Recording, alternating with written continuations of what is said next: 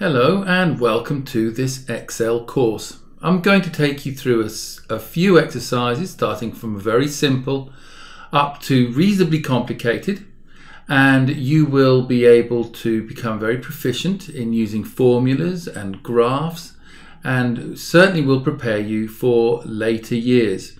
So let's start off with this one called date of birth. Now you don't need to worry about formulas or formatting or anything like that I just simply want to show you how powerful Excel is. So what you're going to do is you're going to put your date of birth in here and it's going to be in this format. So for example, let's say you're born on the 25th forward slash of July forward slash and you put the last two digits of the year in. So let's say you were born in 2008, put in 08 and then click outside and you will see how many days you've been alive and on what day you were born.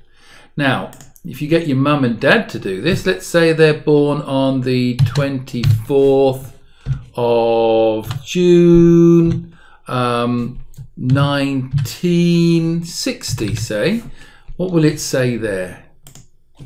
They'll describe them as a bit of an old wrinkly, but you'll see that they've had that many days and they were born on that day as well. So go and try it out with yours, with your friends, with your family's dates of birth, and you can see how many days they've been alive. Thanks for watching. Bye bye.